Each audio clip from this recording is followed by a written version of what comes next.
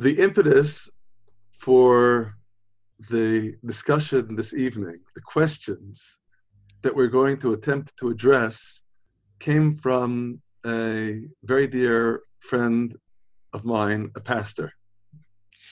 En de vragen die vanavond behandeld zullen worden, zijn van een dierbare vriend van Rabbi Chaim, die de vragen dus heeft aangeleverd. En dat is een voorganger.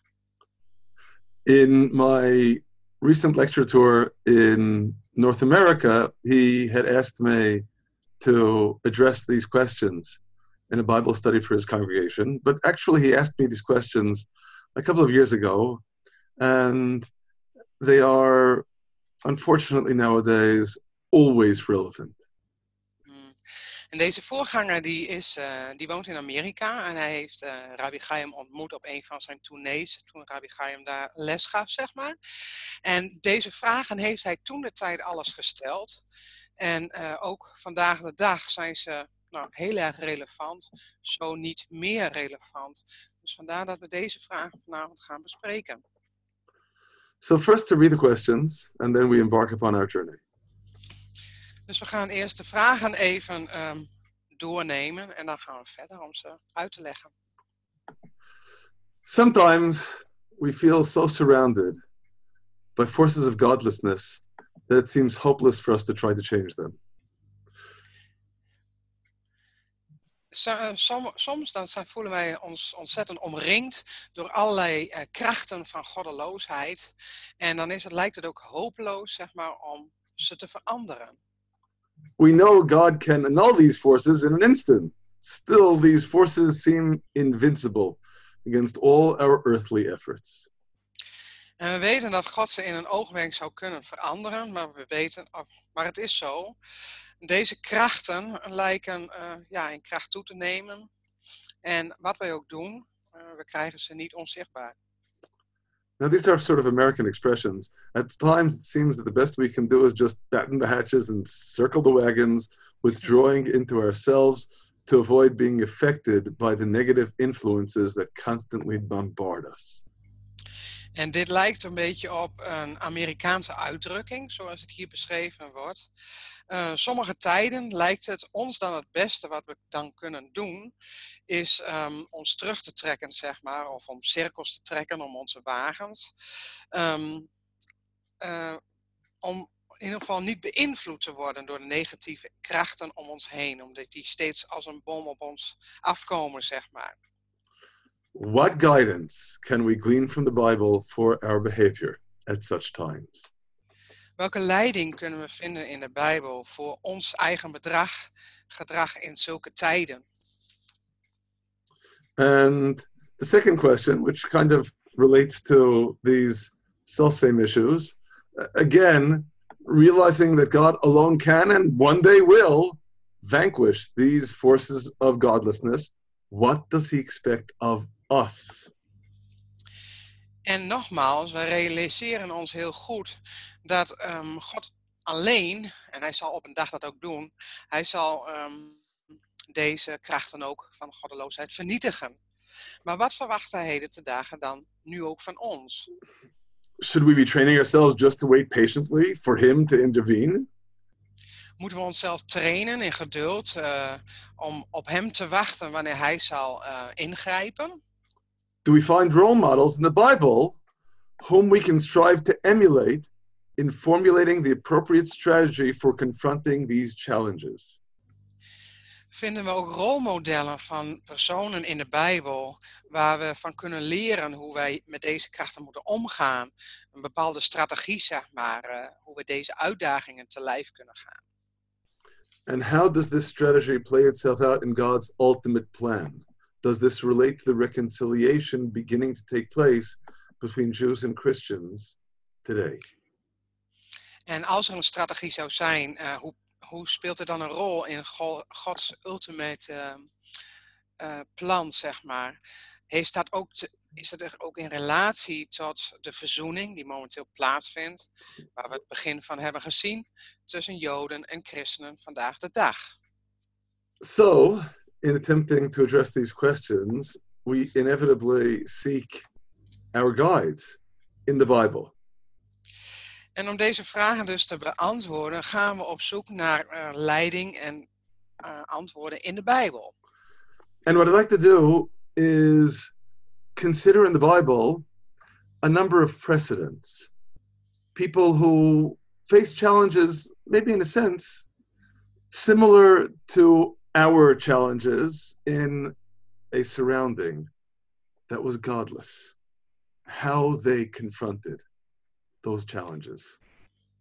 En we gaan beginnen om bepaalde stukken in de Bijbel op te zoeken, waar ongeveer zulke verhalen ook staan opgeschreven van personen of gebeurtenissen, die lijken op onze situatie vandaag de dag. Die ook leefden in een goddeloze wereld, lijkt het wel. En uh, wat dat voor invloed op hun had, hoe zijn zij daarmee omgegaan. Die, dat soort uh, situaties en personen gaan we eerst even bespreken. So I'd like to consider at the outset four incidents in particular as precedents. I'd like to begin with the most recent and move our way up the timeline, so to speak, consider the precedent of the precedent. Dus we beginnen uh, bij een tijdlijn en uh, wat, wat langer geleden. En we volgen die tijdlijn tot wat meer uh, heden te dagen van toepassing zou kunnen zijn. And my first incident is, well, the Hebrew names Hananiah, Mishael, and Azariah. In the Babylonian names, Shadrach, Meshach, and Abed-Nego, the three friends of Daniel, and how they confronted what, in a very dire sense, is a similar situation, if not worse. En we beginnen bij de meest recente zeg maar, gebeurtenis. En we gaan zo steeds verder terug in de tijd. Daar was ik even fout mee. En we beginnen bij het verhaal van Sadrach, Mesach en Abednego. De drie vrienden van Daniel. Worse, because their lives were at stake. En het was een hele slechte omgeving waar zij in leefden. Nebuchadnezzar sets up a golden image and commands everyone to bow down to his golden image. We weten en we kennen het verhaal van uh, de koning Nebukadnezar. Die heeft een gouden beeld voor zichzelf opgesteld. And everyone does, except these three men, Shadrach, Meshach and Abednego. En iedereen kreeg de opdracht inderdaad om neer te buigen voor dit beeld. En iedereen deed dat ook, behalve de drie mannen, Sadrach, Mesach en Abednego. So the Nebuchadnezzar generously gives them one last chance. You had better prostrate yourselves before the golden image that I have made. But if you worship not, if you don't prostrate yourselves, you shall be cast the same hour into the midst of a burning, fiery furnace.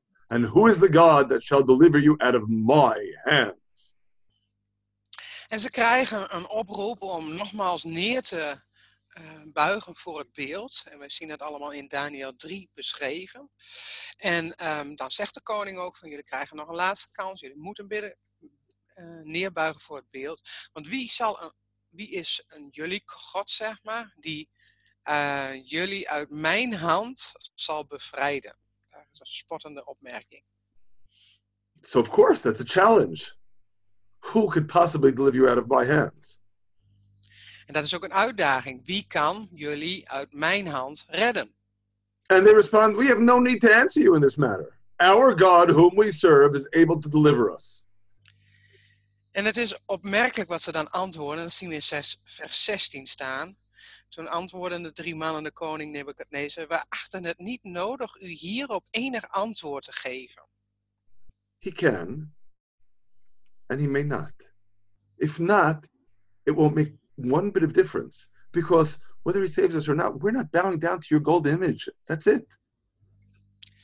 En vers 17 en 18, in on, indien onze God, die wij vereren, in staat is ons te bevrijden, dan zal hij ons uit de brandende vuuroven en uit uw macht, o koning, bevrijden. Maar zelfs indien niet, het zij u bekend, o koning, dat wij uw goden niet vereren en het gouden beeld dat gij hebt opgericht niet aanbidden. We don't do what's right because of the consequences. We do what's right because it's right.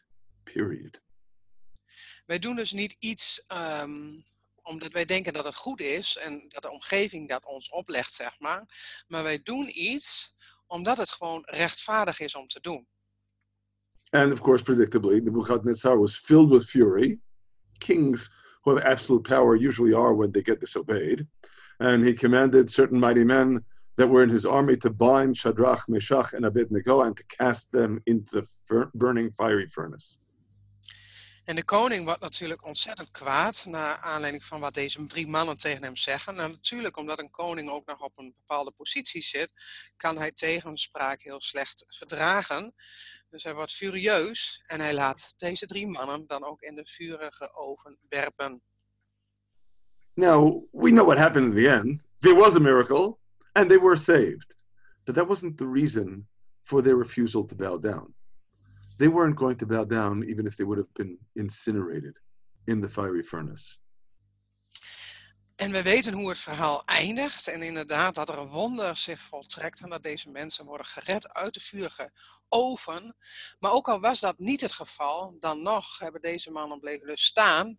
En uh, waren niet gehoorzaam zeg maar, aan de koning. En zouden dan de dood sterven in de vurige oven. Sowieso.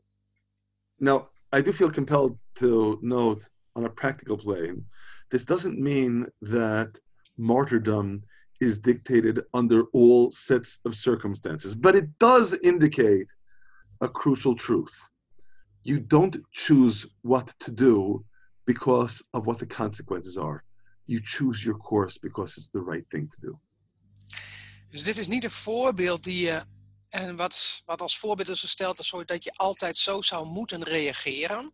Maar het is een opgeschreven, opdat jij uh, wordt opgebouwd om altijd het goede te kiezen, het rechtvaardige te kiezen, wat de consequenties ook zijn. What was their precedent? Let's push this discussion back around one additional generation and consider our second example. En wat heeft deze mannen zo ver gebracht om zo te blijven staan in hun geloof? We gaan een generatie terug in de tijd en dan gaan we kijken naar het tweede voorbeeld. The prophet Jeremiah has terrible problems with the people surrounding him. And maybe problems that are even worse than those that confronted Shadrach, Meshach, and Abednego, because the people who are persecuting Jeremiah were his own people. En de situatie die we nu gaan bespreken is eigenlijk nog meer triester dan, het, dan de situatie van de drie mannen. Um, want het gaat over Je, Jeremia, de profeet. En hij wordt eigenlijk vervolgd en aangeklaagd en um, naar het leven gestaan door zijn eigen volksgenoten. En dat maakt het nog veel erger. In Jeremiah chapter 20, I am become a laughing stock all the day. Everyone mocks me. En we lezen dan in Jeremia 20, vers 7. Gij hebt mij overreed, heren, en ik heb mij laten overreden. Gij zijt mij te sterk geworden en gij hebt macht. Ik ben tot een bespotting geworden de ganse dag. Allen honen zij mij. The word of God is made a reproach unto me and a derision all the day. Want het woord des Heeren is mij geworden tot het smaad en spot de ganse dag. And you know, we could cite many passages in Jeremiah. This wasn't simply a matter of being an object of mockery and derision. Jeremiah's life was at stake.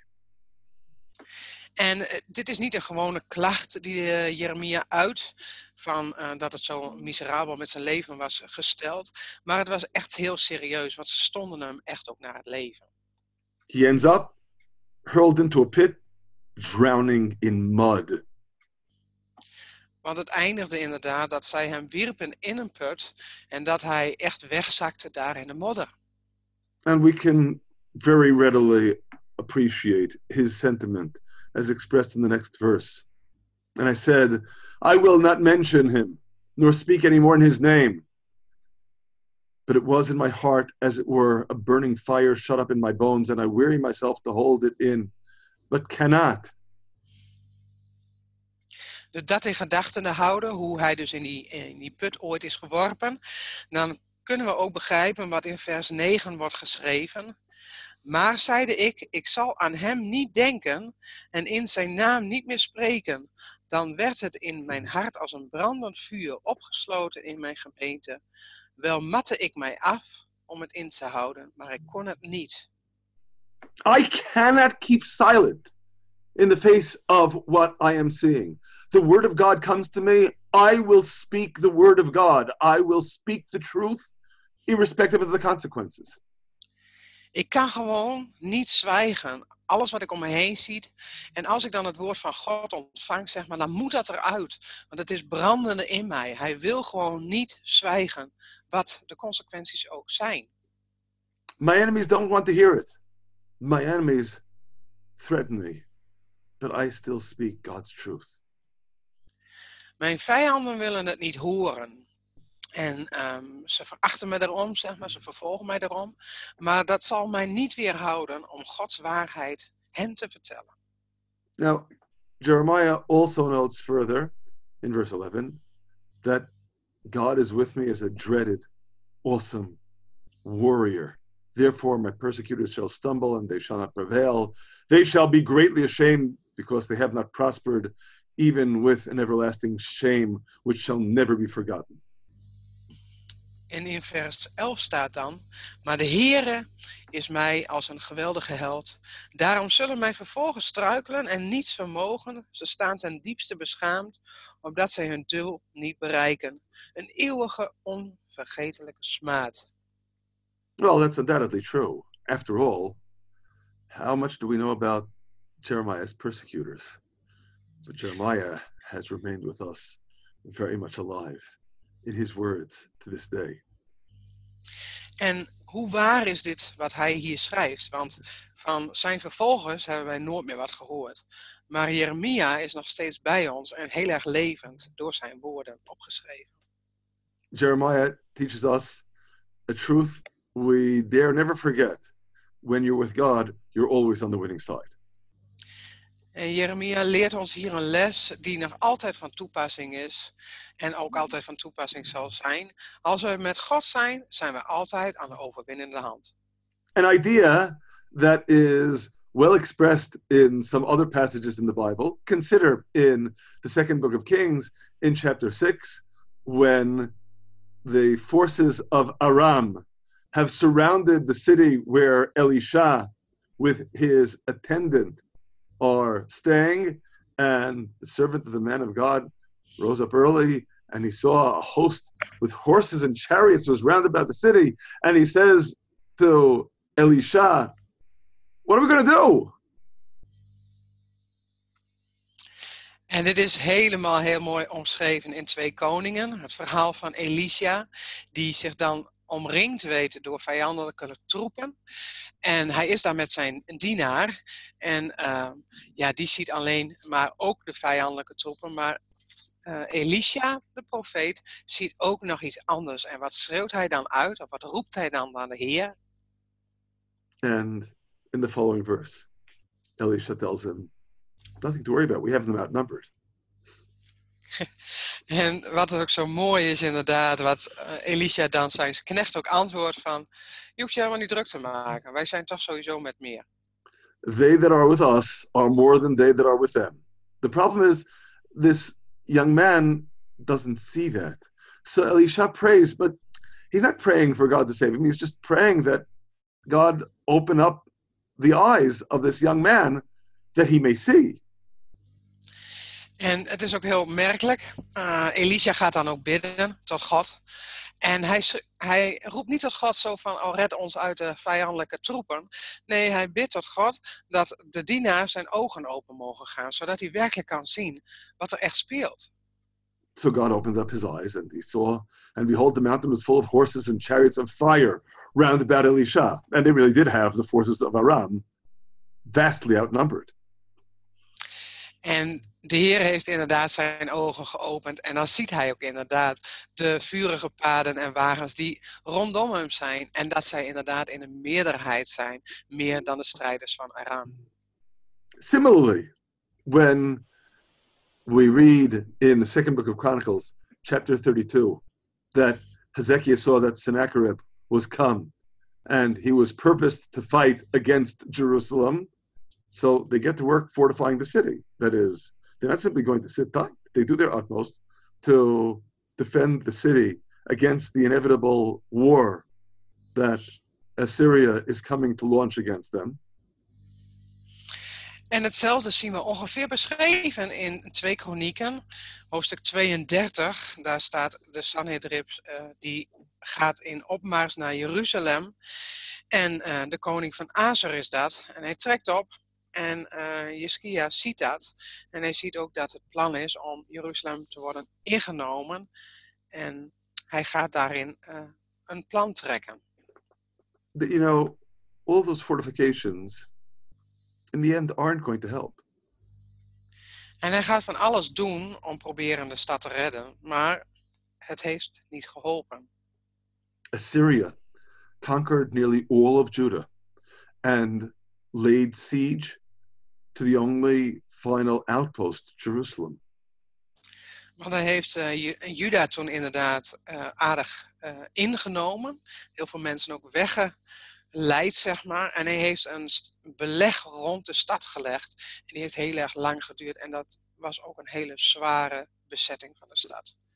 And Jerusalem too would have undoubtedly fallen were it not that God sent an angel to smite the army of Assyria round about the walls of Jerusalem. And 185,000 soldiers dropped dead in a single night. En het heeft het is een hele ernstige situatie toen om Jeruzalem ge, uh, geworden, zeg maar. De strijd was zwaar, het beleg was zwaar. En toen stond God een engel uit de hemel en die maakte echt korte mappen met het uh, vijandelijke leger. En op één nacht stierf van 185.000 mannen wat de engel had gedaan. So Hezekiah understands very well. If Jerusalem is going to be saved, it will be saved by God. not by our worldly efforts, however important those efforts need to be. Dus Jecheskia, de koning van um, Juda en Jeruzalem, die wist ook heel goed dat als Jeruzalem zou worden gered, dan zou God zelf moeten ingrijpen. Wat hij heeft gedaan. So, as the city arrays itself for battle, he speaks encouragingly. Be strong and of good courage. Be not afraid nor dismayed for the king of Assyria, nor for all the multitude that is with him, for there is a greater with us than with him. With him is an arm of flesh. With us is the Lord our God to help us and to fight our battles. Dus die probeert ook zijn manschappen toch te bemoedigen. En dat staat beschreven in vers 7 en 8 van hoofdstuk 32. Wees sterk en moedig, vrees niet. En word niet verschrikt door de, koning, de koning van Assur en de gehele menigte die met hem is. Want met ons is meer dan met hem. Want hem is een vleeselijke arm, maar met ons is de Heere onze God, die ons helpt en onze oorlogen voert. So Elisha, King Hezekiah, Jeremiah all recognize very well that when you're with God, you're always on the winning side. Dus zowel Jeremia, maar ook Jegeskia, de koning, maar ook de mannen in de oven. Die wisten allemaal zo van, als je met God bent, ben je altijd aan de winnende hand. Altijd. But that's ultimately the winning side. Maar dat is het ultieme. In, kant. In the interim, in the interim, again, King Hezekiah has no guarantee other than God's miracle that will enable him to survive.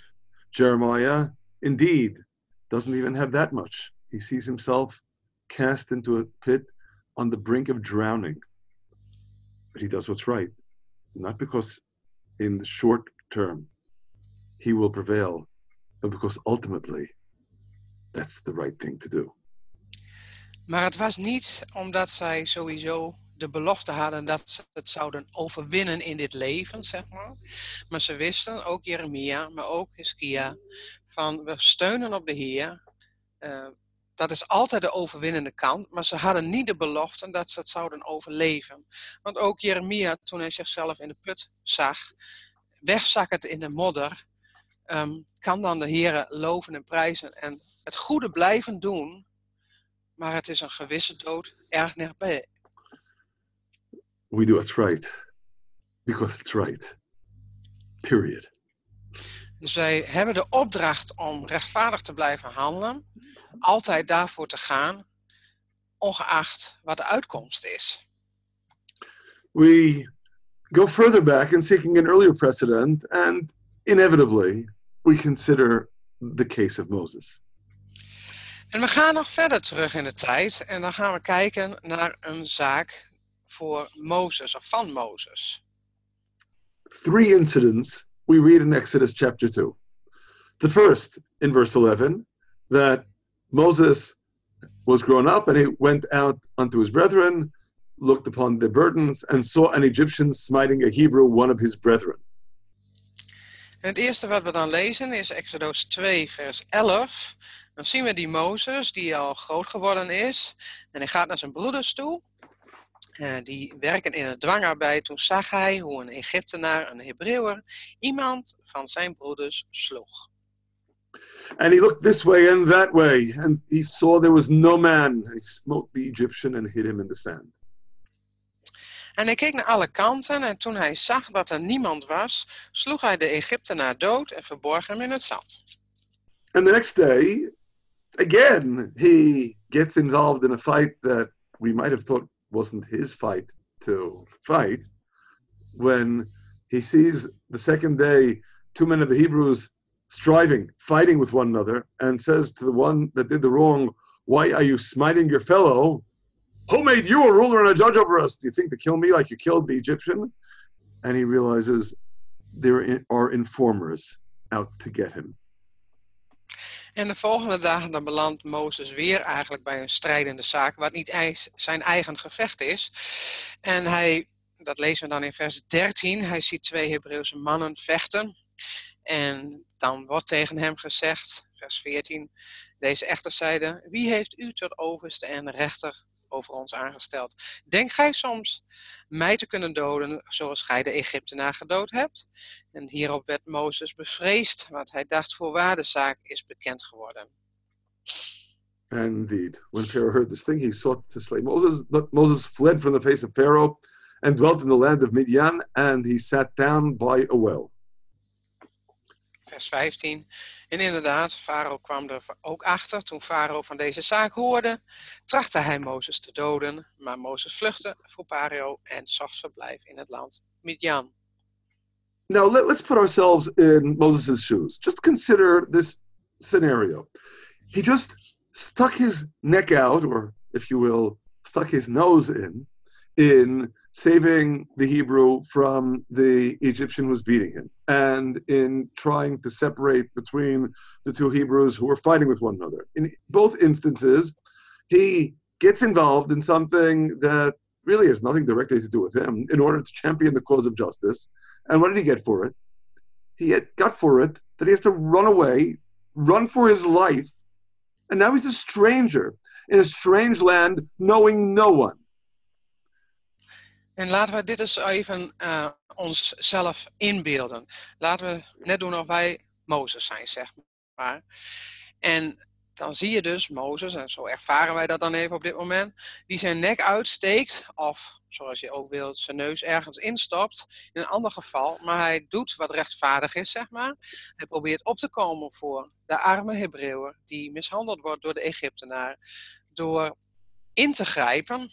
En hij slaat dus de Egyptenaar dood. Hij denkt het goede te doen en dan zie je zelf opeens van dat je op de vlucht moet voor Farao. En je belandt in een vreemd land, naast een bron, waar je niemand kent. You think he would have learned his lesson by now to not get involved where he doesn't need to get involved. Dus je denkt dan dat hij zijn les misschien heeft geleerd van afzijdig te zijn en niet proberen ergens bij in te worden betrokken. And the next thing we read, the daughters of Jethro come to the well to fill the troughs to water their father's flocks, and the shepherd came and drove them away. Shepherds, plural. We don't know how many, but however many there were, they drove away all these daughters of Jethro. And Moses gets up and saved them and watered their flocks. He gets into a fight with all the shepherds. En het volgende lezen we dan dat Mozes toch niet echt iets geleerd heeft van zeg maar, de situatie in Egypte. Want wij zien dan het volgende verhaal zich afspreken dat ehm, de dochters van Jethro bij de put komen als herders. En er komen meerdere herders aan en ze gaan vechten zeg maar, om het water en er is strijd. En wat doet Mozes? Hij bemoeit zich ermee en gaat met de uh, andere herders, die dus de dochters van Jethro belagen, op de vuist. En er komt een gevecht. En hij komt dus in, uh, maar hij redt dus wel de dochters van Jethro. En hij doet dus weer het goede, maar hij stapt ook zijn neus weer in een andere feit, gevecht wat niet zijn gevecht was. Isn't this crazy? I mean, after all, he's all by himself, a stranger in a strange land. He doesn't have anyone on his side, anyone who's going to welcome him, anyone who's going to defend him. And he gets into a fight with all the shepherds. Dus dat is toch ook wel weer een beetje vreemd, want hij belandt dus in een ander gevecht, in een land waar hij niemand kent en waar niemand hem kan bijstaan. En hij gaat gewoon het gevecht aan met vreemde herders. And of course, inevitably the answer is no, he's not crazy. He is driven to fight injustice wherever he sees it, whatever the consequences. Maar het is natuurlijk niet vreemd, want hij wordt gedreven door een rechtvaardigheidsgevoel. En hij acteert daar ook altijd op. Dus dat is zijn drijfveer, wat de consequenties ook zouden zijn in dit geval. And having gotten into all that trouble before by saving the Hebrew from the Egyptian taskmaster and trying to break up the fight between the two Hebrews, that doesn't make a difference. Now, there's another injustice. He's still going to get himself involved. He cannot keep silent in the face of injustice. Dus dat is ook de drijfveer wat Mozes dus heeft uh, toen hij bij de Egyptenaar uh, rechtvaardigde tussen in de strijd sprong, zeg maar, maar ook bij de Hebreeuwse mannen onderling. Hij wordt gedreven door dat rechtvaardigheidsgevoel om op te staan. En dat kan hij uh, niet anders dan daarop te acteren. Hij kan zich niet inhouden. And of course, by so doing, although Leviticus had not yet been given, he lives up to the mandate of Leviticus chapter 19, verse 16 You shall not stand idly by the blood of your neighbor. En in Leviticus 19 wordt dit dus ook herhaald. Je zal niet uh, afzijdig zijn bij het bloed van je buurman. Dus je wordt ook opgeroepen om hierop te acteren, hierop te handelen. you know, it's in that vein that I'd like to submit we should understand what we read in Exodus chapter 2, verse 12. At the beginning of this whole story, he looked this way and that way, and he saw there was no man. Inevitably, the question, why did he look? En dat is nog wel even interessant. We gaan nog even terug naar vers 12, waarin wordt beschreven dat Mozes alle kanten opkijkt. En hij zag dus inderdaad dat er niemand was die op hem lette. I think the conventional answer is he looked because he wanted to see if anyone would be spying on him. He looked because he was afraid of an informer. Mozes was in dat geval echt wel zo clever, zeg maar, om heen te kijken dat niemand hem zag voor wat hij zou gaan doen. I'd like to propose just the opposite. Maar is dat inderdaad zo? Was dat zijn gedachte of is er misschien een andere mogelijkheid? He sees an Egyptian smiting a Hebrew And he looks around, who's going to intervene here? This gross miscarriage of justice, this gross brutality. Who is going to rise to the challenge, get up and stop it? Dat is natuurlijk de andere benadering. Het kan natuurlijk ook zo zijn dat Mozes om zich heen kijkt van... Goh, er wordt een Hebreeuwse slaaf mishandeld. Wie springt er eigenlijk in voor hem? Wie doet rechtvaardig? En hij kijkt om zich heen en hij ziet dat niemand reageert. And he looked this way and that way. And he saw there was no man.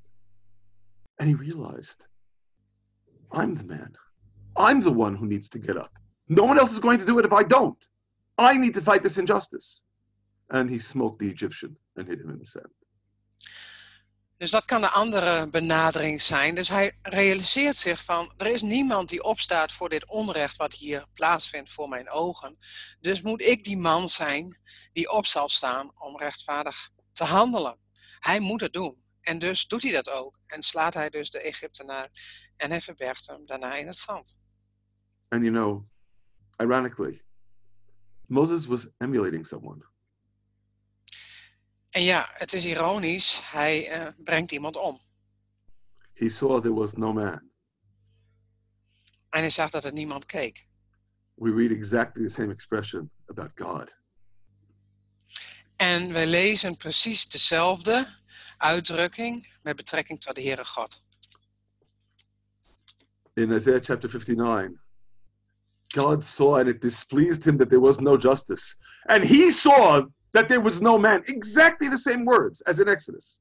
And was astonished that there was no intercessor. Therefore, his own arm brought salvation unto him, and his righteousness it sustained him. Just as with Moses.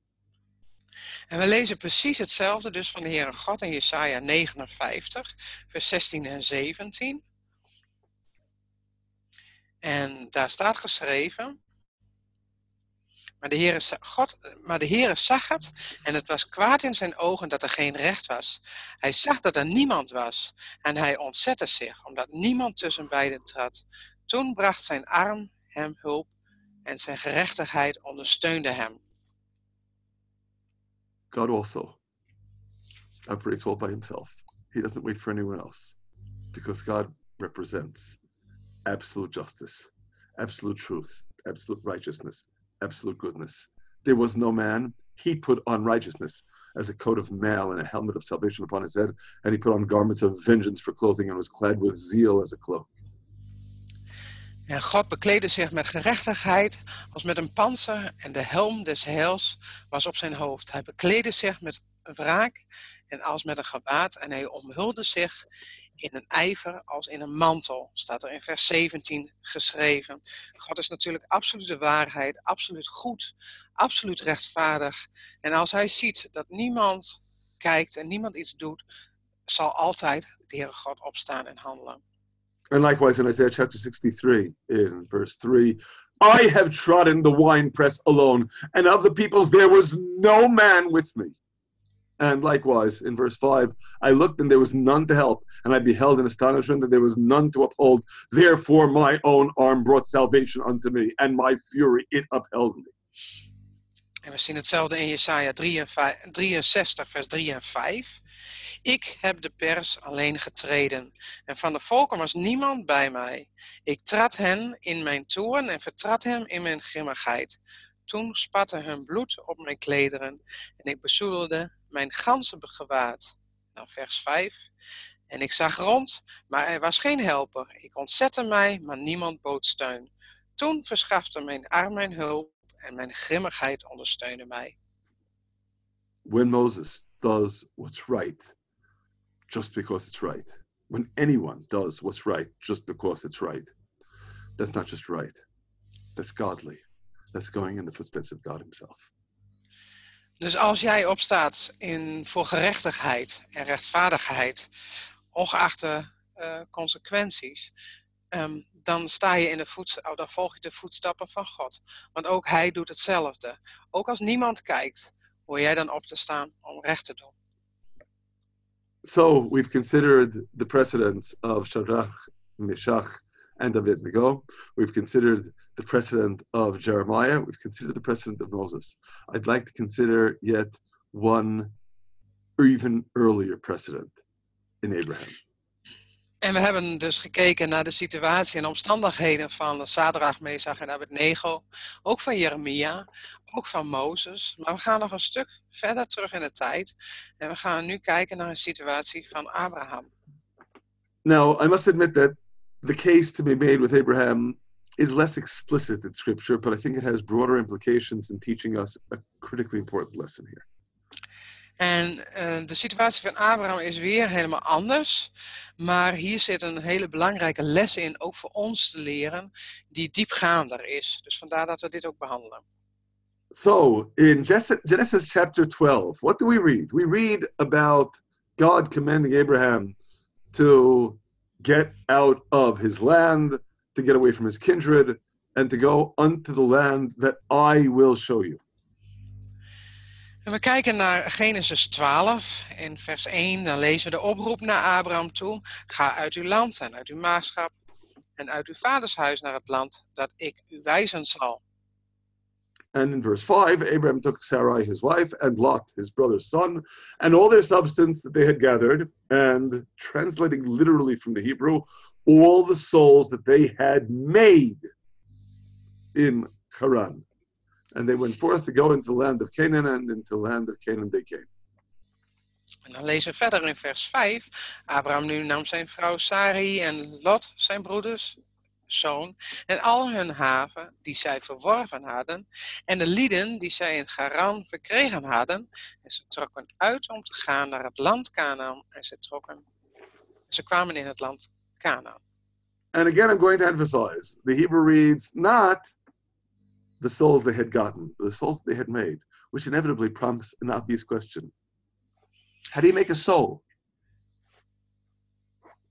En dat is wel een hele interessante, want bij ons staat er inderdaad ehm, de lieden die zij in Haran verkregen hadden, zo staat het in onze vertaling. Maar vanuit het Hebreeuws gezegd wordt er meer gezegd, de zielen die werden gemaakt, dus die gemaakt waren. God makes souls. How can a human being make a soul? Want wij kunnen zelf geen zielen maken, zeg maar, maar God maakt zielen. And in our tradition, the answer is when you show someone the way, when you introduce him or her to the good, you've made their soul. En in onze overlevering wordt het zo uitgelegd dat als je iemand wijst op rechtvaardig handelen en daar ook naar te doen, zeg maar, dan red je iemands ziel. En dan wordt er een ziel toegevoegd. En daar wijst ook deze, uh, dit vers naar. Abraham at that juncture doesn't have any biological offspring at all, but he is the father who makes the souls of all those people whom he brought to God. En Abraham heeft op dit moment nog helemaal geen nakomelingen. En, maar toch heeft hij zich zielen verworven, zijn zielen heeft hij gemaakt, zeg maar. En dat komt doordat hij mensen wees op rechtvaardig handelen, rechtvaardig doen. En hij wees ook op de Heere God.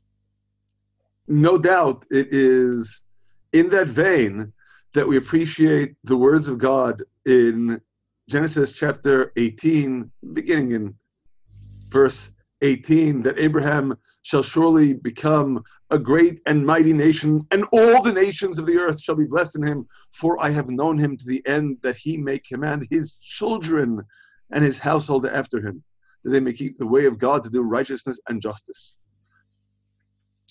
En dan zien we verder in Genesis 18 de belofte die Abraham, God krijgt, uh, doet aan Abraham. Dat hij vele nakomelingen zal krijgen, maar ook een vader zal zijn voor vele volkeren. Juist omdat hij een rechtvaardig man is en mensen dus inderdaad naar God leidt. This is, of course, before Isaac is even born. En dit is inderdaad beschreven voordat Isaac is geboren. But children don't only mean biological children. Children also mean spiritual children, like the souls that Abraham and Sarah made through proselytizing. Dus het is inderdaad zo dat je niet alleen kan spreken van vleeselijke nakomelingen, maar ook van geestelijke nakomelingen. Al die mensen die worden gewezen op de waarheid in de Heere God, dat zijn dan levende zielen geworden en dat zijn nakomelingen. That children is a word used in Hebrew, b'nai, to refer to spiritual children. Is obvious in the Bible, just as a case in point, in the second book of Kings in chapter 2. The sons of the prophets that were in Beit El, the sons of the prophets that were at Jericho, uh, at Jericho, and so on. These aren't biological sons of the prophets. These are the students, the disciples of the prophets. And they too are endowed with the Spirit so that they can say to Elisha, Do you know that God is taking your master from your head today? That is, they have become apprentice prophets, but they're called children of the prophets because the, the prophets were their mentors. En we zien hetzelfde beschreven in bijvoorbeeld Twee Koningen. In het tweede hoofdstuk, daar wordt ook geschreven over de zonen of de kinderen van de profeten. Ehm, en dat wordt een paar keer zo genoemd, maar daar wordt ook de geestelijke kinderen worden daarmee benoemd. Want de profeten waren hun mentors op het geestelijke vlak. Dus zij waren de kinderen van de profeten of de zonen van de profeten. Maar niet naar het vlees, maar altijd naar de geest. It goes in the opposite direction as well. That is, later on in the narrative, when Elisha sees Elijah being taken from him in chariot and horses of fire. Elisha saw it and cried, My father, my father, the chariots of Israel and the horsemen thereof. Elijah was not his biological father, but he was his mentor. My father, my father.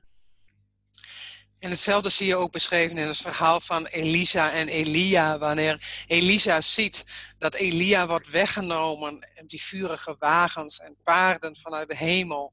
En dan schreeuwt hij het ook uit, mijn vader, mijn vader.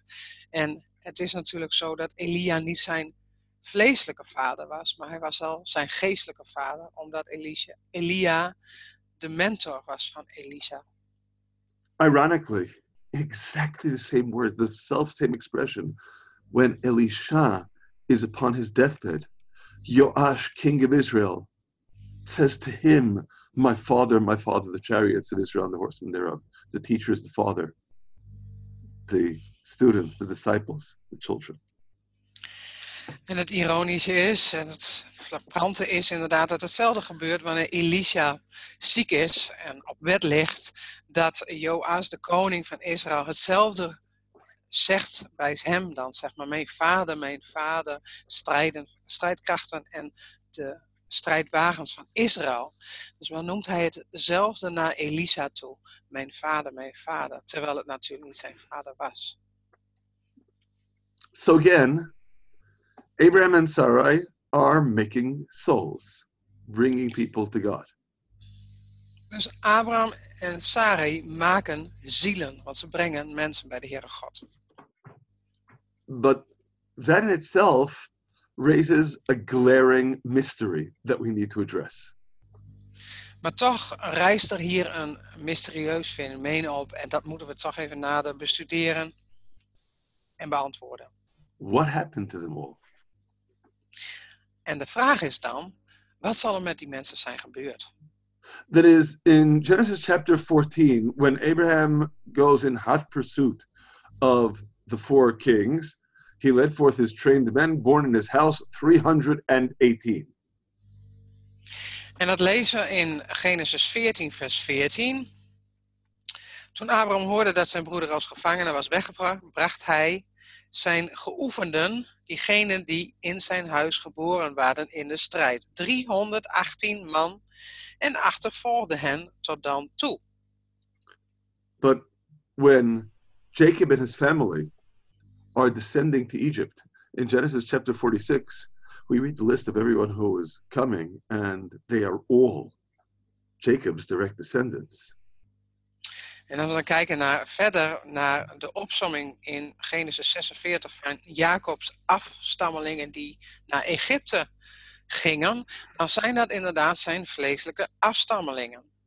In verse 27, all the souls of the house of Jacob that came into Egypt were 70, and they were all his household, his family. Dat lezen we in vers 27. Alle zielen van zijn huis, van Jacobs huis, kwamen aan in Egypte. En dat waren er 70 dus. Maar dat waren zijn echte bloedgewanten.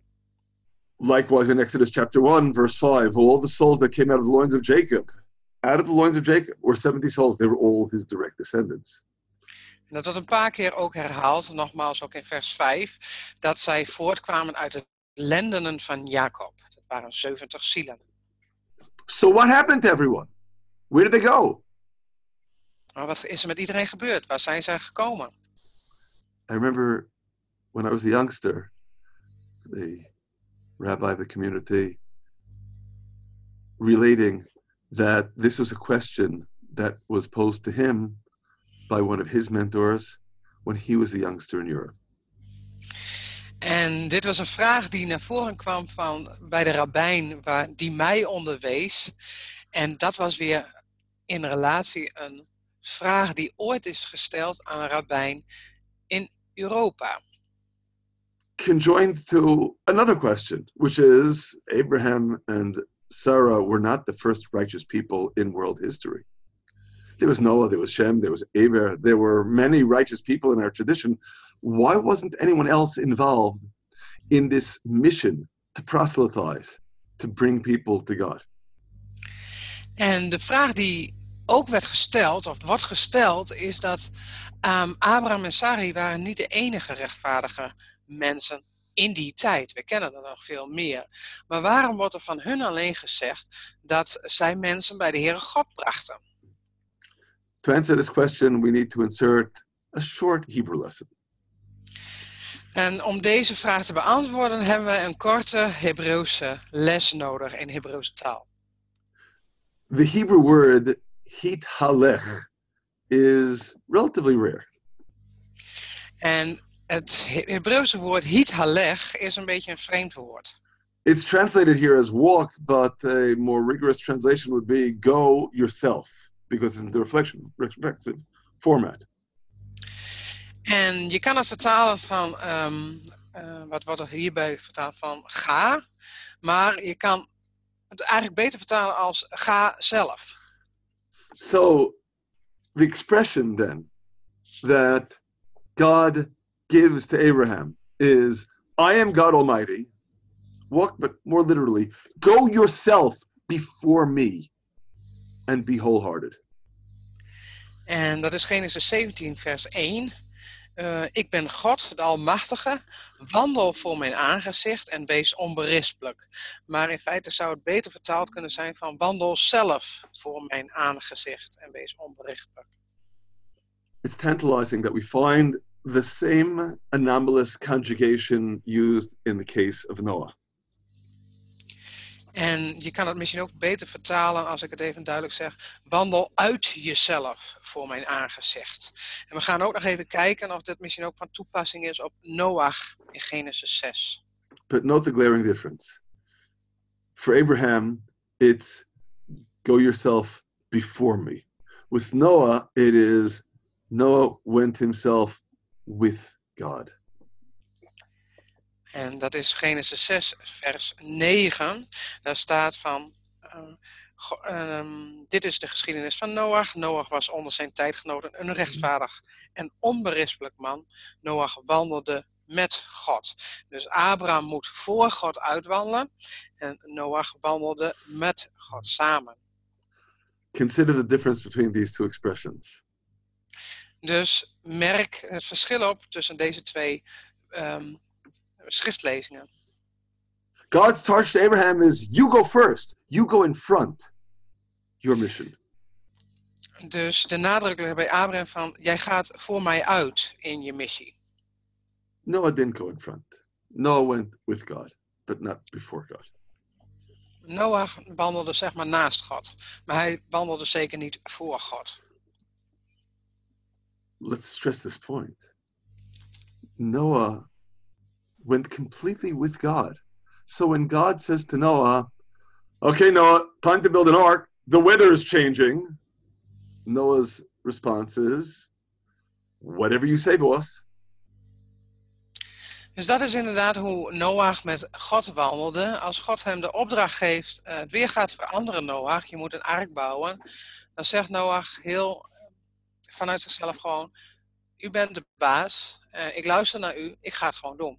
Dus hij wandelt naast God en hij doet alles wat God hem opdraagt. God didn't tell Noah to launch a proselytizing mission, so Noah doesn't launch one. Slicha, can you repeat? God didn't tell Noah to launch a mission to proselytize humanity, so Noah doesn't launch such a mission. He just follows orders. Hmm. Noach was dus een man die inderdaad de opdrachten van God uh, letterlijk nam en ze ook zo uitvoerde. En hij was er nooit op uitgestuurd om andere mensen van God te vertellen. Dus heeft hij dat ook niet gedaan. Well, God didn't tell Abraham to launch a mission to proselytize humanity either.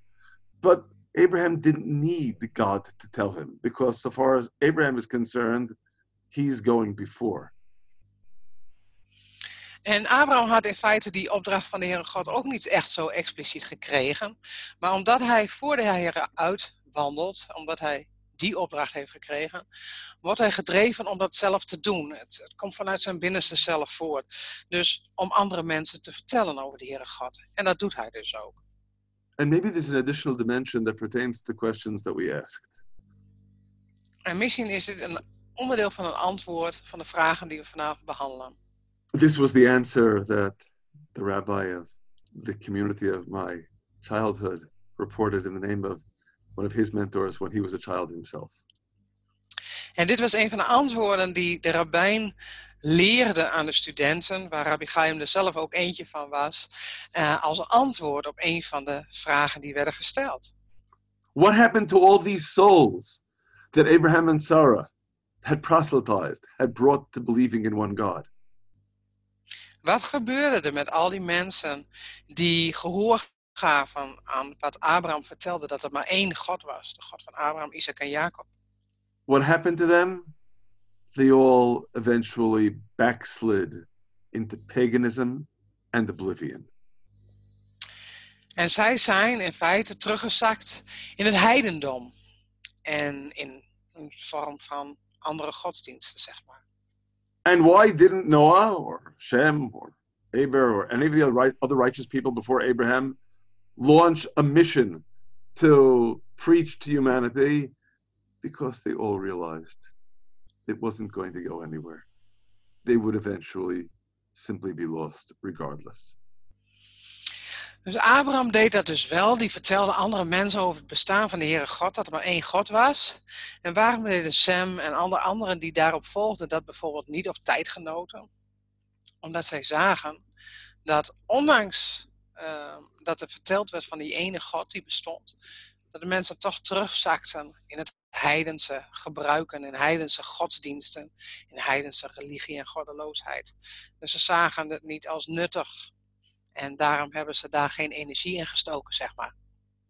What makes Abraham and Sarah into the first of our holy fathers and mothers, the first patriarch and matriarch of Israel?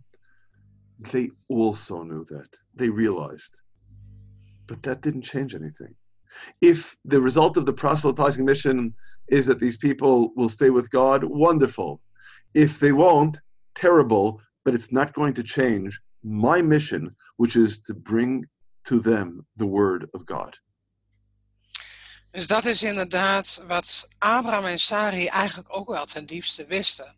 Alleen het veranderde niks aan hun intentie om andere mensen te vertellen van die ene God.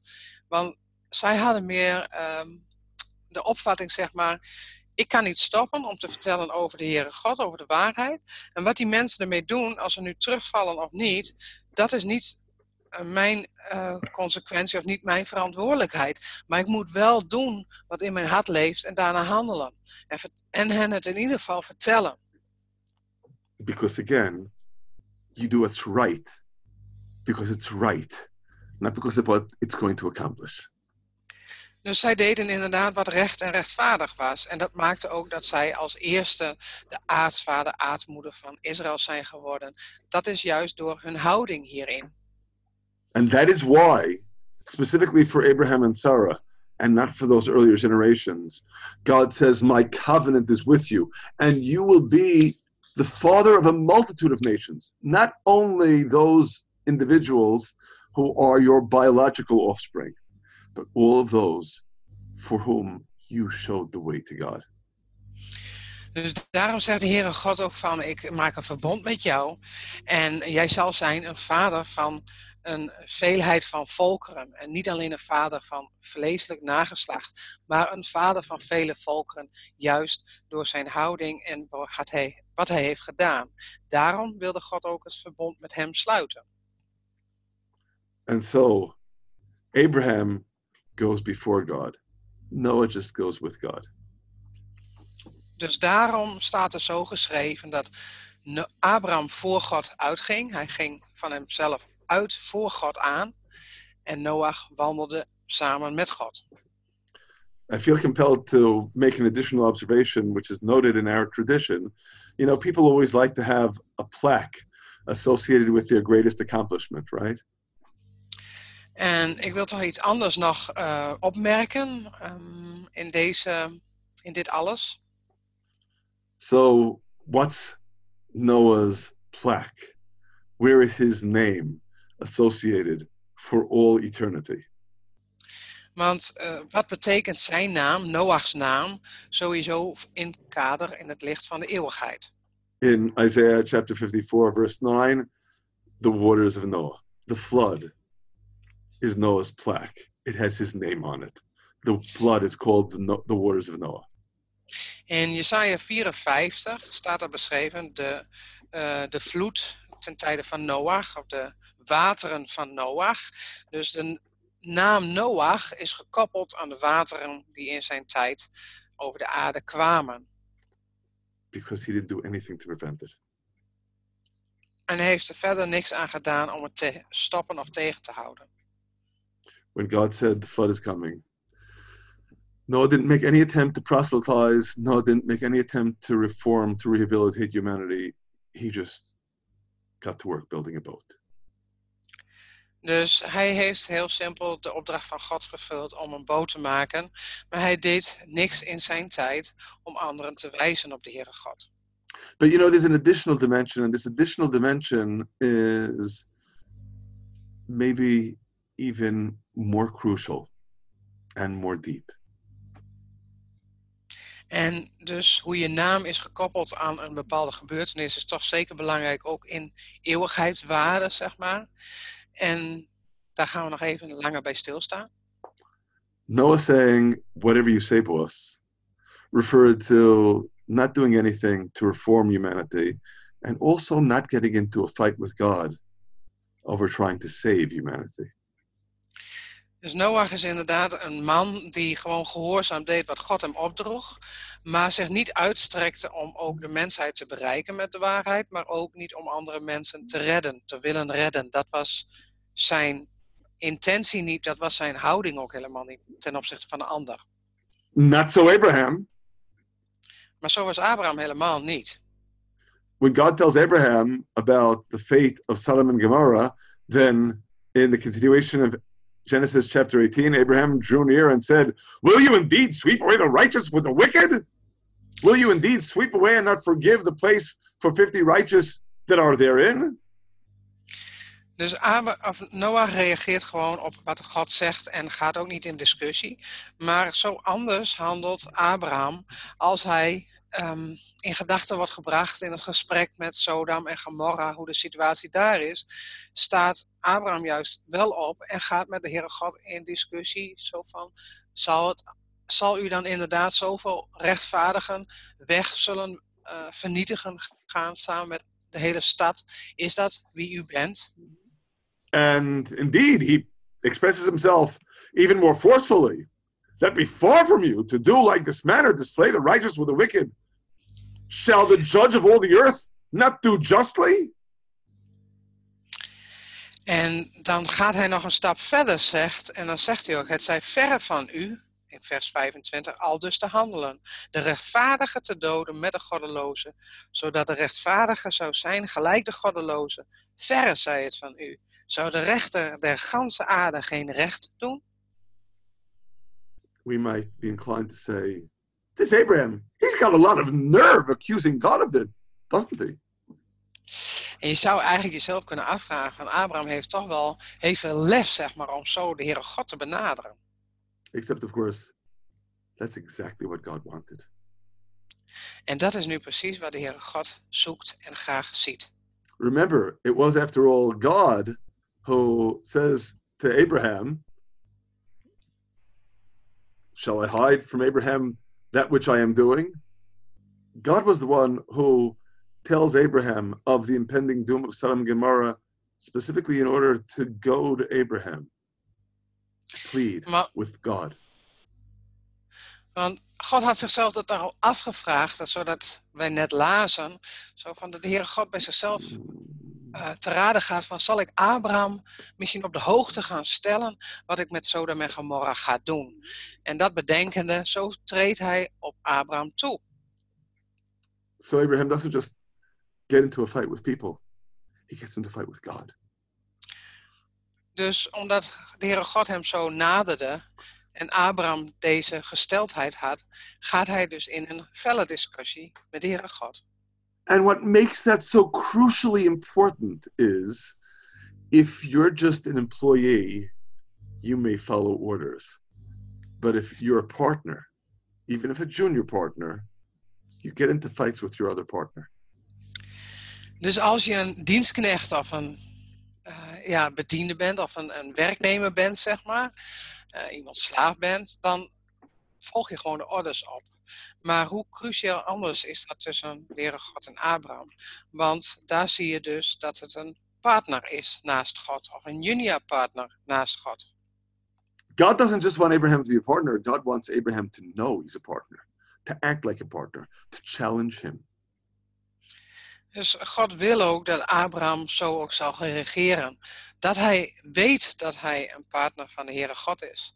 En dat hij daarop zo uh, zal handelen in zijn hele wezen. And this indeed is the hallmark, literally, the very last word of the story of creation. En dit is inderdaad het uh, bijna letterlijke woord zoals wij het scheppingsverhaal kennen en waar dat scheppingsverhaal mee eindigt. The very last word of the story of creation in Hebrew, la'asot, to do. En dat is inderdaad het laatste woord waarin Genesis 2 mee eindigt, la'asot. En dat is het woord, zeg maar, om te doen. So Genesis chapter 2 verse 3, God blessed the seventh day and hallowed it because that in it he ceased from all his work that God created to do. That's a literal translation. En Genesis 2 vers 3 En dan zien we dus, ik zal het laatste stukje lezen, zo staat het bij mij in de vertaling, dat God scheppende tot stand had gebracht. Um, dus wat hij creëerde om te doen. Why doesn't just say that God had created? Why to waarom, do? Waarom wordt het zo gezegd ook dat God um, schiep om te doen? Because everything that God creates, He creates to do to keep on doing. Alles wat God schept heeft als doel om te doen.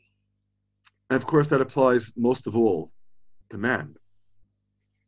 En dat heeft natuurlijk het meeste betrekking op de mensheid. We have an ancient tradition in the Midrash in explaining that God created to do that it needs to keep on doing. It's not finished yet.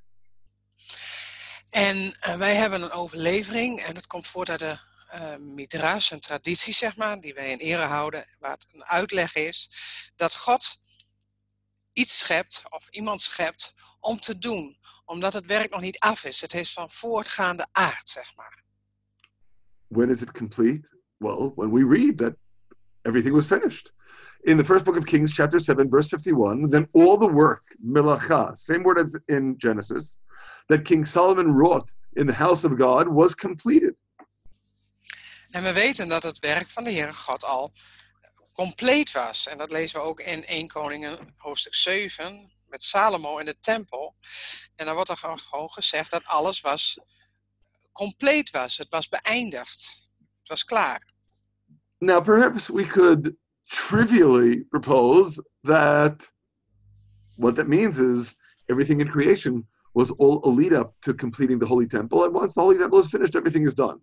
I don't think that's the point. I think the Holy Temple is a symbol, a symbol of our ability to dedicate ourselves to creating a godly space, so to speak, a house dedicated to God and to his servants in this world. So when we do that, we're living up to the mandate that everything that God created, he created to do. And we have to recognize we need to keep on doing. En dat is ook het beeld wat hier wordt geschetst, ook van de tempel. De tempel was op dit moment wel gebouwd en het was klaar, maar het was om door te gaan, om ehm, daarin te werken, om God te heiligen en te aanbidden en te eren. Dus het was, de tempel was al klaar om vervolgens ingewijd te worden om te doen. En zo kun je dat ook zien met de schepping. Wij zijn gemaakt, de mensheid is gemaakt, om voor te gaan op wat nog gemaakt kan worden um, door de mensheid zelf, zeg maar. Het is van voortgaande aard. Het is nog niet klaar om dan helemaal te stoppen en achterover te gaan leunen. Het is juist klaar om in gebruik te gaan en om meer te creëren en te doen. Because again, everything that we do is heeding God's charge to become those junior partners. The junior partner who keeps on doing, who recognizes that God's charge is to take the world and, like the Holy Temple, make the world into a bastion of holiness, into a place, so to speak, dedicated to God. Zoals de tempel uh, toegewijd en ingewijd was ter ere van de Heere God, als dienstbaar, daarin dienstbaar te zijn, zo mogen wij ook een bepaalde ruimte creëren, uh, voortbedurend op wat God heeft gemaakt en gecreëerd, om daarin door te gaan. Om um, de wereld te maken als een tempel voor hem, zeg maar, als een koninkrijk voor hem. En hierin ook zijn partner te zijn, wat God is begonnen om daarin voor te gaan. I hope it's clear to us that this connects directly with what we said at the outset. God places us in this world not in order to just sit here and do nothing. God places us here with a challenge a challenge to be a mouthpiece of holiness, of godliness, to transform the world and all that is in it. That's precisely the charge for man. En ik hoop dat het zo duidelijk is inderdaad, dat dat ook inderdaad de bedoeling van de Heere God is. Hij heeft ons mensen geschapen in deze wereld en hij maakt ons nog steeds. Hij gaat daarin door. Ondanks dat de wereld zo duister is, om verder te gaan om partners met hem te zijn, om het goede te werkstellen en de rechtvaardigheid vorm te geven in dit leven en op deze wereld, als zijnde een tempel voor hem. In the same vein, in God's blessing to Joshua the high priest in Zechariah chapter 3 verse 7. En je ziet hetzelfde ook in Zechariah 3 vers 7 staan. And I must note that these words we read as part of the reading from the prophets on the upcoming Shabbat, which is the Shabbat of Hanukkah.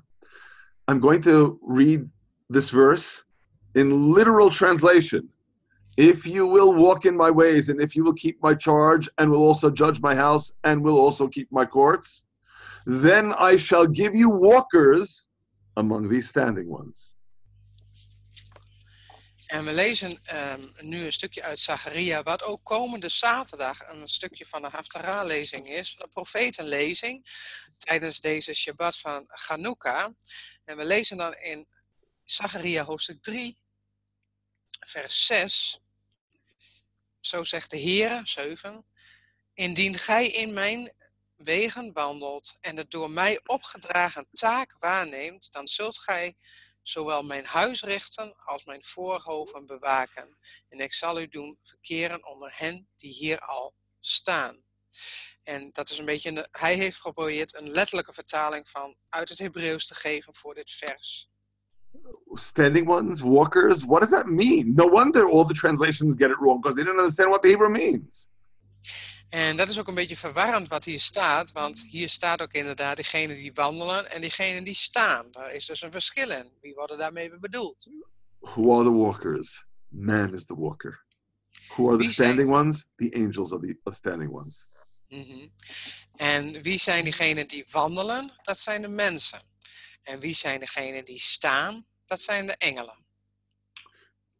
In Ezekiel chapter 1 we read that their legs were straight legs. They turned not where they went, they went everyone straight forward. Angels don't change, angels don't move. Angels are created as spiritual beings, and so they remain. Man comes into this world, a baby, completely physical, with a spiritual potential that needs to be actualized.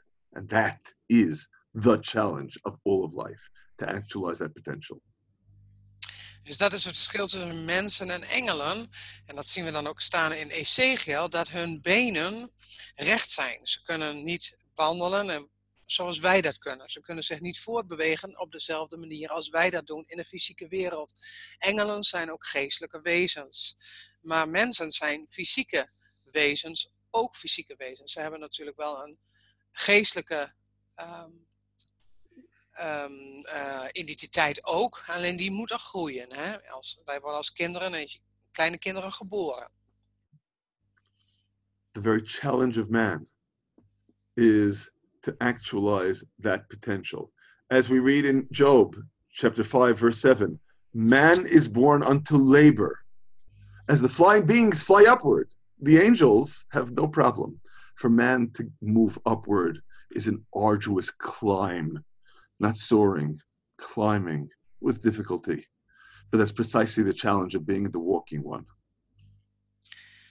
En dat lezen we ook bijvoorbeeld in Job 5, vers 7. Maar de mens wordt tot moeite geboren, gelijk de vonken omhoog vliegen. Dus de engelen die kunnen omhoog vliegen, die hebben daar geen moeite mee. Maar de mens wordt tot moeite geboren. Wij kunnen maar moeizaam omhoog komen. And that, of course, is so exquisitely interleaved with precisely the challenge that we have living in a world that often seems so dark. En dat is dus ook de uitdaging die wij hebben. Eh, wij worden geboren in een wereld die soms zo duister lijkt. The mandate that we read in Exodus chapter 27 command the children of Israel that they bring unto you pure olive oil beaten for the light, to cause a lamp to burn continually. En dan gaan we kijken naar Exodus 27, vers 20. Hij zult de Israëlieten bevelen dat zij u brengen zuivere olie uit gestoten olijven voor het licht, om voortdurend een lamp te kunnen laten branden. This is literally a commandment with respect to the candelabrum, the menorah in the holy temple. But beyond that, it also is a symbol. As we read in Isaiah chapter 42, verse 6 I have set you for covenant of the people, for light of the nations. Likewise, in Isaiah chapter 49, verse 6, Israel in whom I am I will be glorified, I will give you as a light of the nations, that my salvation may be unto the end of the earth.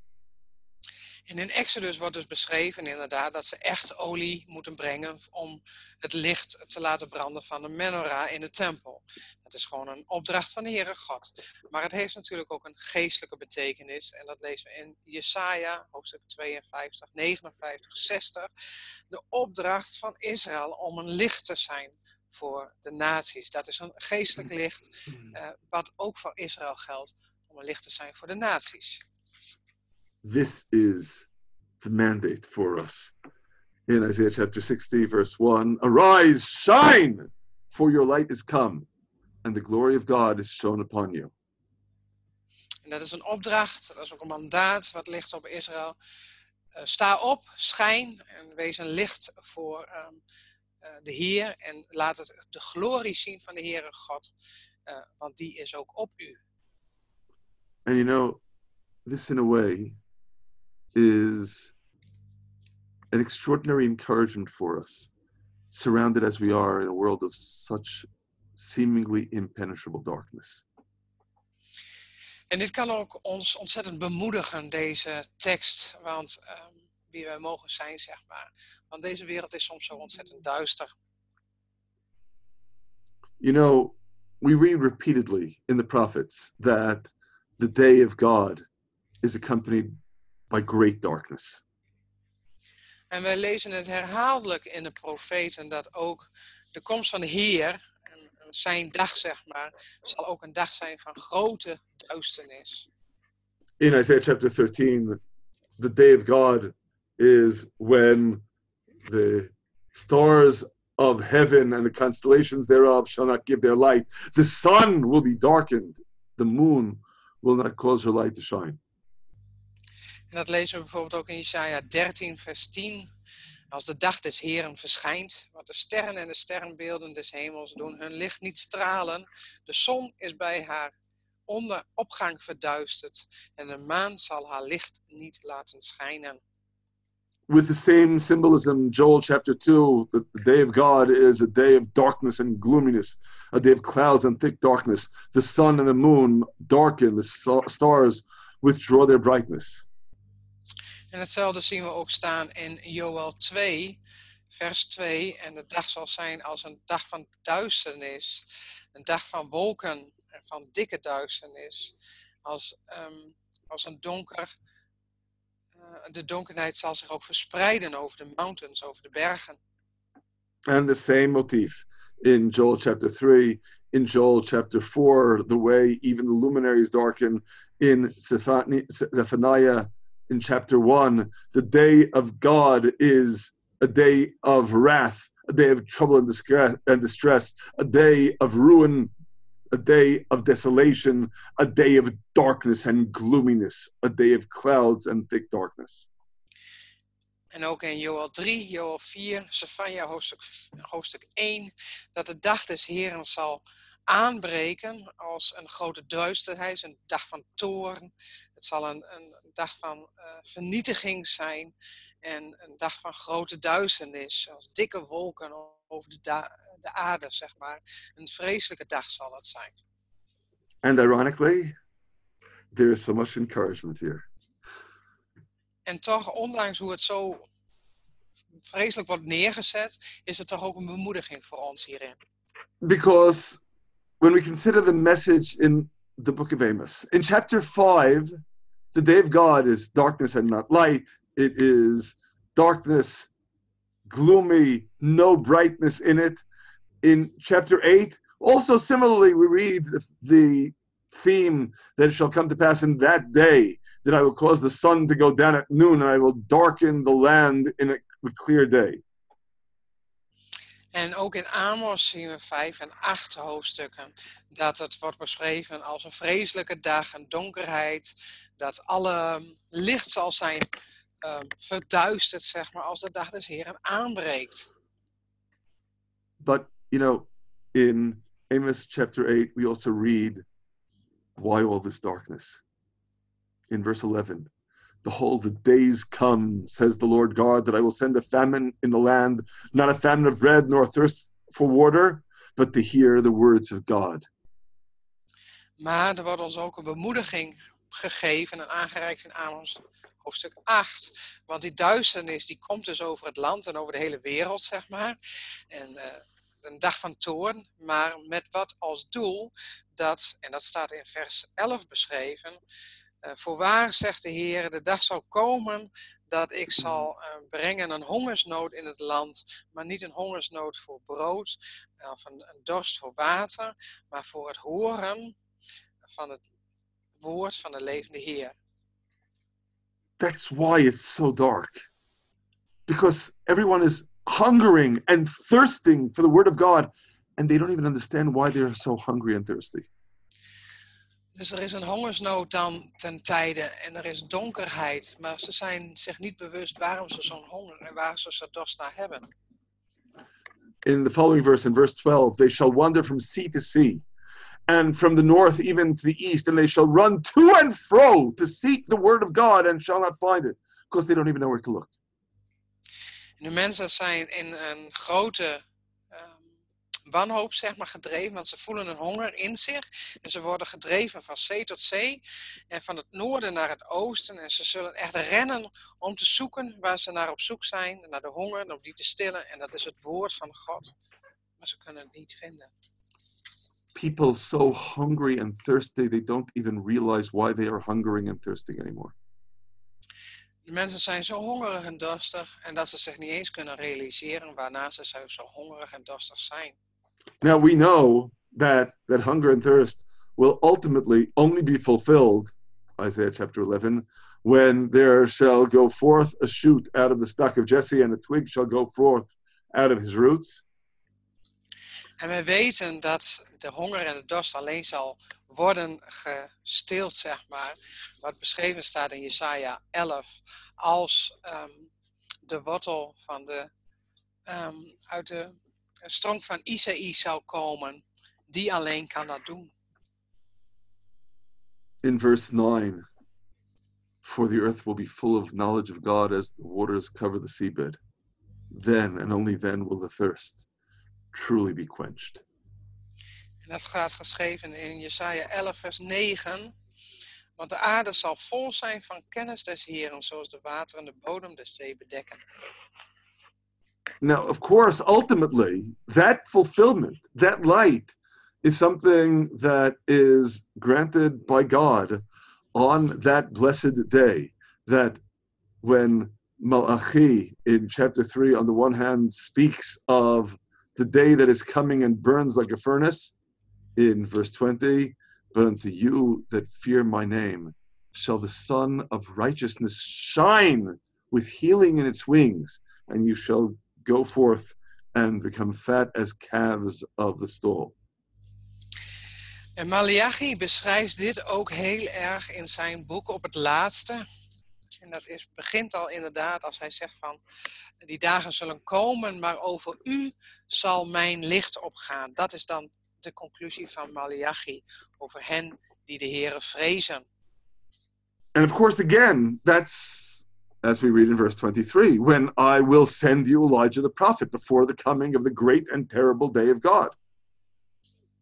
En wij lezen dan in vers 23, maar ik zal eerst zenden de profeet uh, Elia, voordat de geduchte en gedachtes, ged, grote en geduchte dag des Heren komt.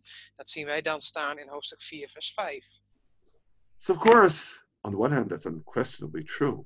As we read in Isaiah chapter 60, that in verse 19, the sun will be no more your light by day, neither for brightness shall the moon give light unto you, but the Lord shall be unto you an everlasting light, and God your glory. En we zien het ook staan in Jesaja 60, vers 19. De zon zal u niet meer tot lucht zijn, licht zijn, bij dag noch de maan tot een schijnsel voor u lichten, maar de Heere zal u tot een eeuwig licht zijn en uw God tot uw luister. But you know, still there's that mandate even today. You arise, shine, for your light is come, and the glory of God is shown upon you. And by your doing this, ultimately, as we read in verse 3, nations shall walk at your light, and kings at the brightness of your shining. Maar nog blijft die mandaat staan voor ons als zijn volk. Jesaja 60 vers 1 en 3. Sta op, word verlicht, want uw licht komt en de heerlijkheid des Heeren gaat over u op. Dan vers 3. Volken zullen opgaan naar uw licht en koningen naar uw stralende opgang. So the final light comes from God. But God doesn't absolve us of the obligation to do our utmost to shine that light here and now in this world, even against prodigious odds, just as Shadrach, Meshach, and Abednego did, just as Jeremiah did, just as Moses did, just as Abraham did, just as all those who truly serve God have done in all generations.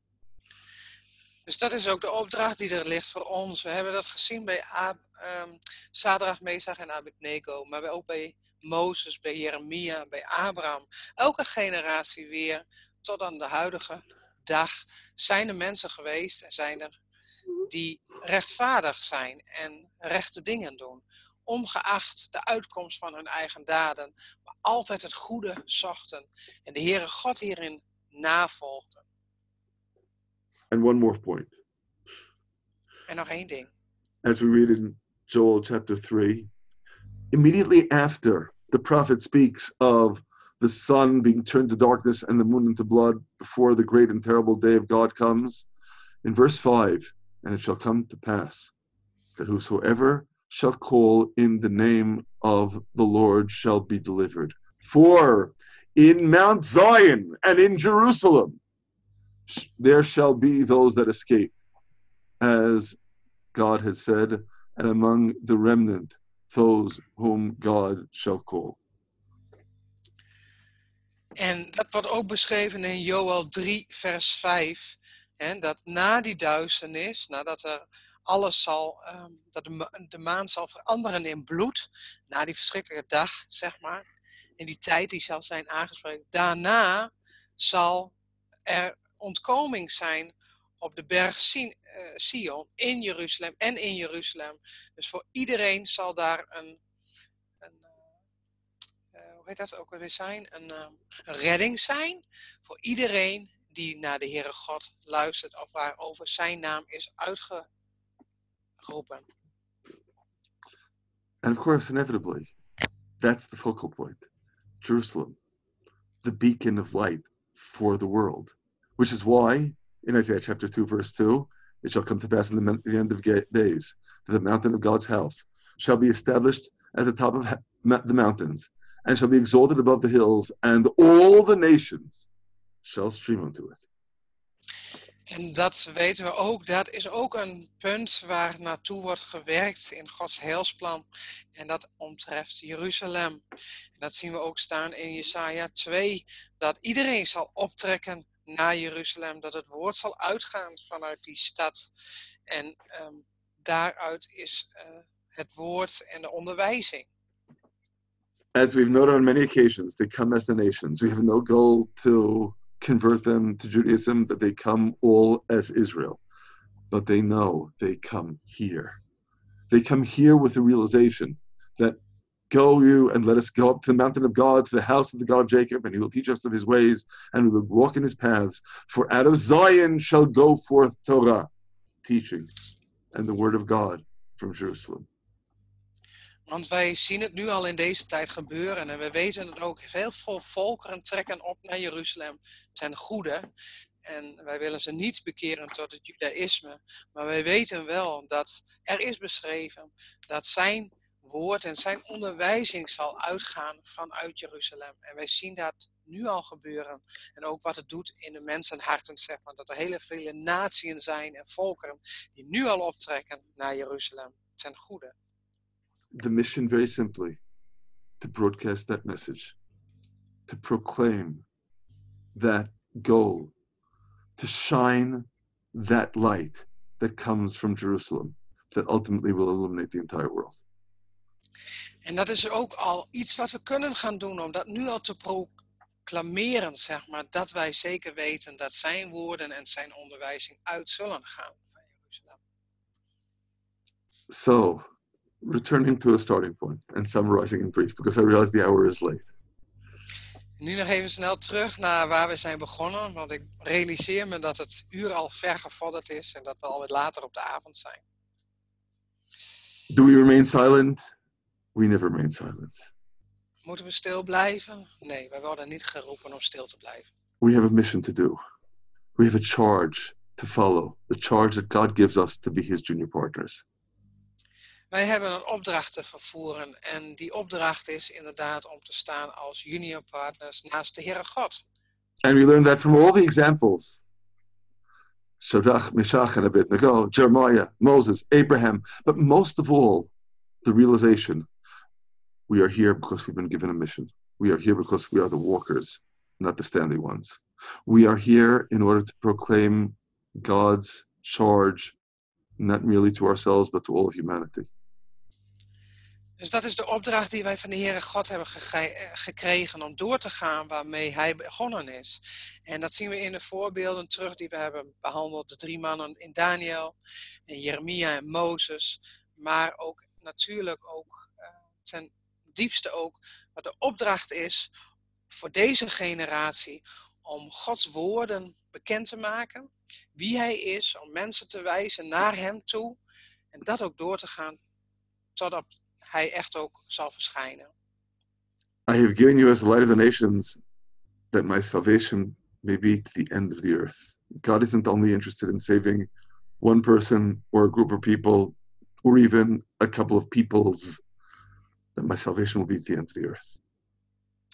De opdracht van de Heere God aan ieder van ons is om zijn redding bekend te maken aan alle mensen. Dus tot het einde van deze wereld, zeg maar. En dat zijn niet één of twee of een een groep uitgezonden, maar hij wil dat de boodschap wordt bereikt aan alle mensen.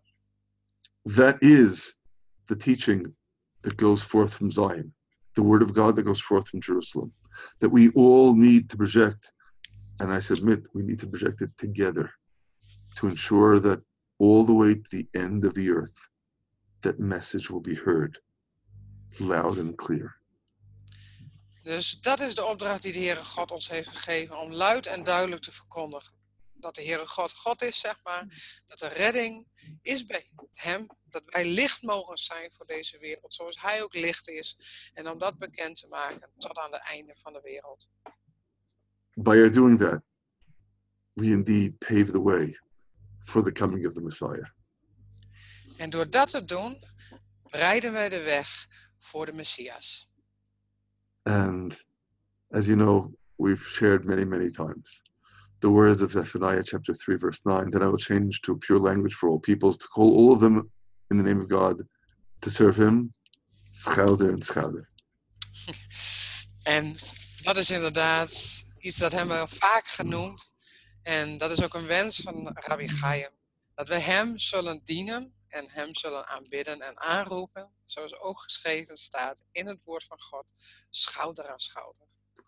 When we follow God's charge, when we become His junior partners, we learn, as expressed in an old Hebrew saying, that a little bit of light can dispel a lot of darkness.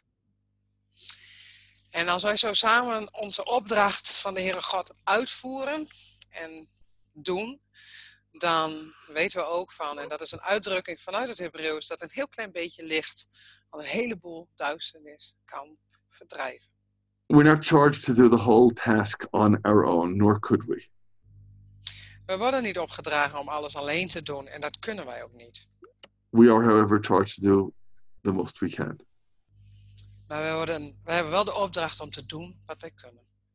To shine the light that will continue to illuminate. En dat is om het licht te zijn en dicht door te dragen in deze wereld. To make the world a more godly place. To pave the way for the blessed day of the coming of the Messiah. Shoulder to shoulder. Om deze wereld een meer goddelijke plaats te laten zijn. En om samen hem groot te maken en de weg te bereiden voor de komst van de Messias. God bless you. God zegent jullie allemaal.